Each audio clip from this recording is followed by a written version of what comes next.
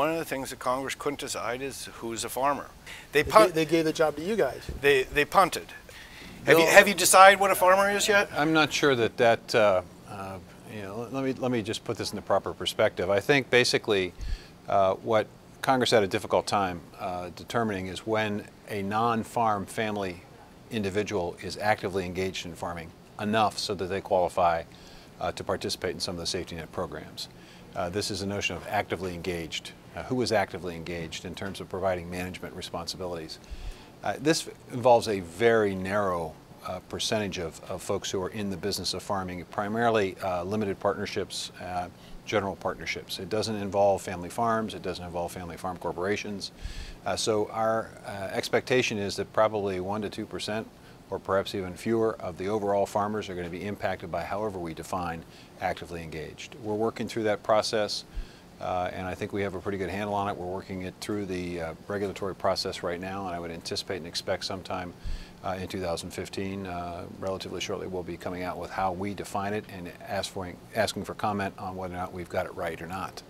Um, you know, the, the reality is that this has been a loophole that has been, uh, been utilized by folks in partnerships uh, to allow for uh, many, many, many people to qualify as actively engaged when in fact they might be only engaged in a conference call or uh, in, in a very narrow sense uh, participating in the decision making in a farming operation. So we will close that loophole to the extent that we can, but Congress has uh, not given us a whole lot of room to do that.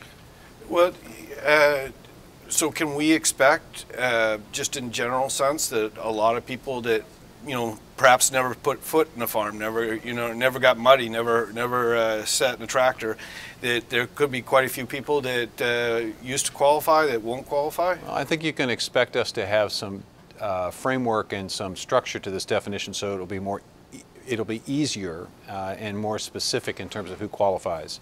Uh, and I think you'll probably see a lot of folks who in the past had been in an office, say in a big city, uh, who had an interest in a farming operation for tax purposes may not get the benefits that they got before. In terms of how many people that is, uh, time will tell.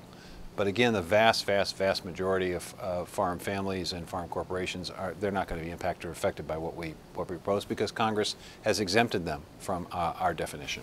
Still, can you save hundred million dollars, a couple hundred million dollars? You think? Uh, I think it's too early to tell in terms of the savings. Um, I think that there are more critical issues in terms of the savings in the Farm Bill that are focused on how that safety net's going to uh, react and how, how we're going to deal with crop insurance in the future.